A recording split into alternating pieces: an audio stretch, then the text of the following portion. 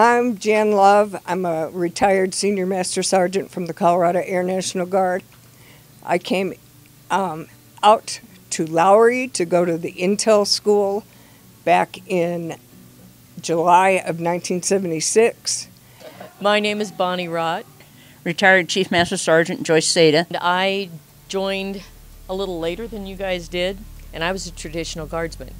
So I didn't, you guys had already paved the way by the time I came in.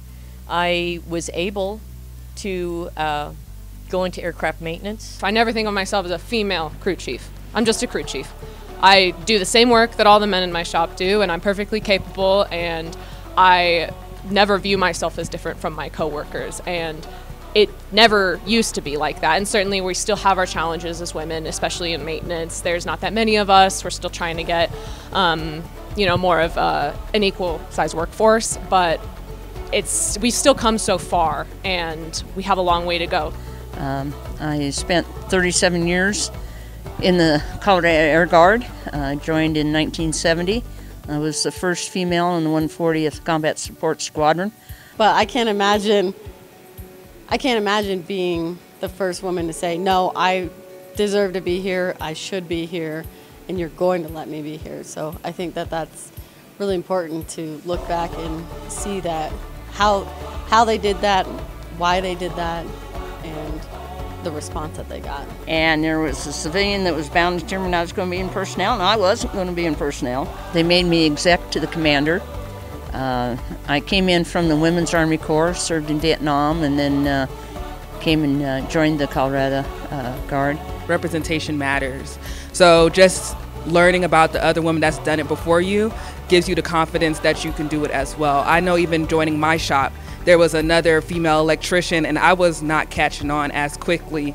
But the fact that she was like so savvy, I was like, well, if she can do it, I know I can, right?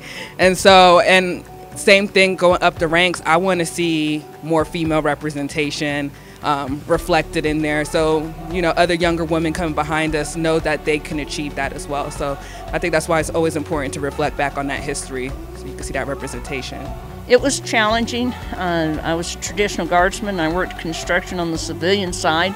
Uh, sometimes I'd come right off the job working all night and uh, have to change into uniform uh, to work. Um, so I used to get upset when uh, the, and it was mainly technicians then, we didn't have very many AGRs that would complain. And uh, I didn't have any uh, sorry for them. When I was a senior in high school, my brother was in the Army. And I got a draft notice in the mail because he had used my social security number instead of his because he knew mine was close to his. So my father had to take me physically to downtown Chicago with my birth certificate to prove that I was a female. For me, I'm an egress mechanic and I started my career in Toledo, Ohio, and I was the first woman in my shop. So I came into the shop um, and the guys were just kind of like, whoa, we have never worked with a woman before. And um, I came in there ready to learn and eager to set the foundation for a woman in the egress shop. And I think it's important that we recognize all those women before us in any aspect of the military, that they set a great foundation for us to lead on, and we continue setting that foundation for women in the future. I just decided, you know, if my grandpa and my dad and my older brother could all be in the military, then I could too. I, we see them like, okay, they did that like that. I can do this, and it's just it's given a lot of women courage that if they can do it, then I can do it too. My position was not a de- deployable position, and I got pregnant. And I was the first female on Buckley to be issued a maternity uniform. That's my name to fame. And the COANG went from being a very male oriented place to work. The females have stepped up and and have shown that they they are worthy of both the rank and their positions. Yeah, when I first arrived here and I got out of tech school, um, I also I had a female role model who was my supervisor and trained me how to be a crew chief. And I mean, she was just so inspiring to me in multiple different ways. But um, really, she, I mean, it's not a hesitation to say that she's probably the, the one of the best mechanics in my shop.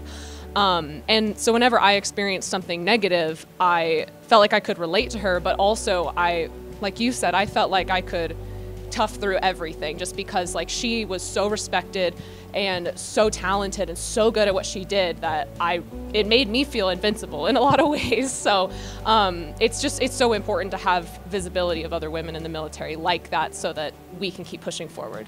Um, I had a great time, um, and we saw more females in the military, but you still got to work alongside and do the same things. I never wanted to take an easy way out. I can pull my weight, and I think that we all made a difference because we showed that we were equal to all of the tasks.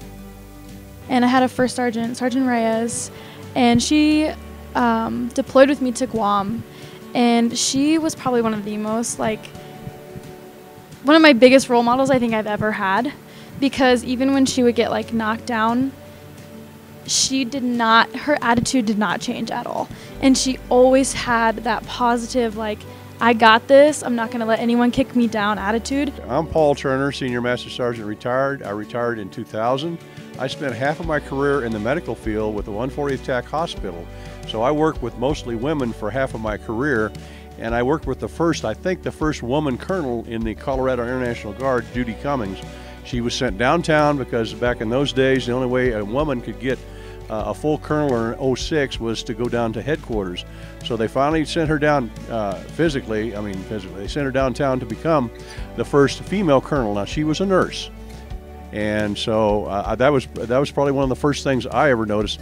One of the finest and hardest working women I've ever seen. She trained nurses at, the university and some other places, so she was quite qualified.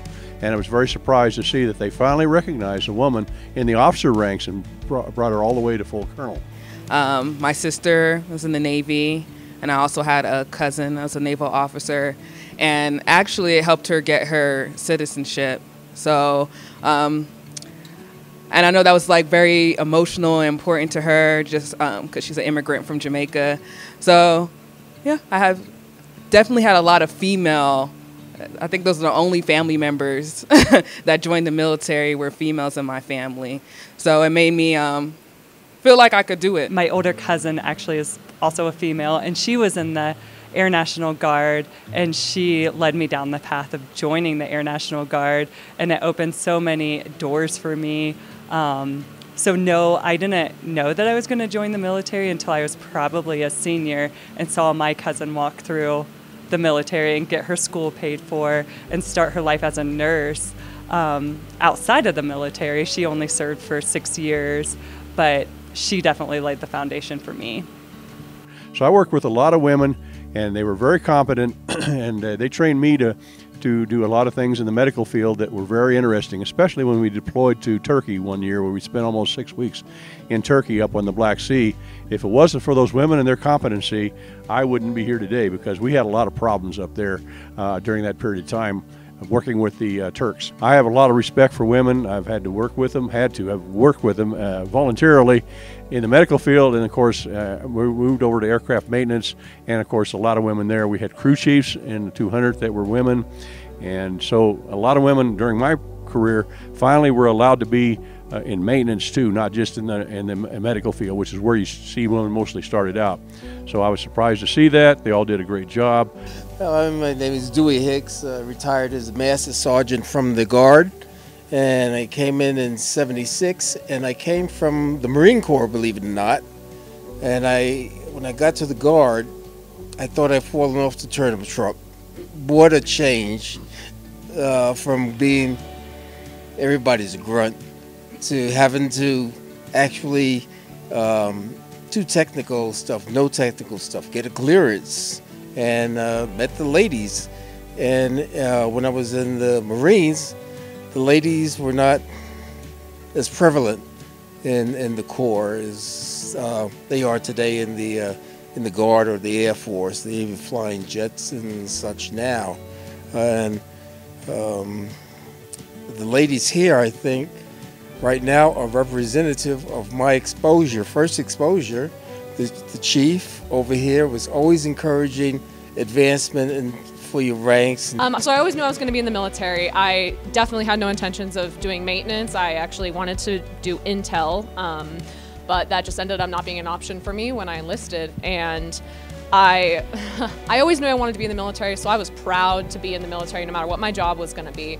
But I thought I made a huge mistake when I went to tech school. I was like, I was like, I never thought I was capable of. Um, picking up a tool. I never thought I would do it a day in my life, and I didn't think I could do this job. And then I showed up here, and um, I had like a female supervisor that was incredibly inspiring to me, and was really patient in teaching me how to do my job, and um, kind of taking me under her wing. And I, I mean, it was such a humbling experience because I, I think we often assume we know everything about ourselves, um, but we don't. You know, you try new things, and you learn that it's not that bad. And I actually feel like I feel like I have a very solid place in this unit, and I feel like I'm an incredibly competent and confident mechanic now. I think I would say that the guard for me and meeting the uh, the females in the guard was almost like being in a family.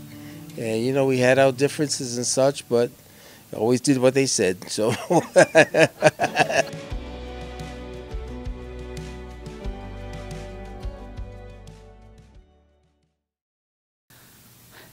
You're never going to make chief. Bet me, boys. Yeah.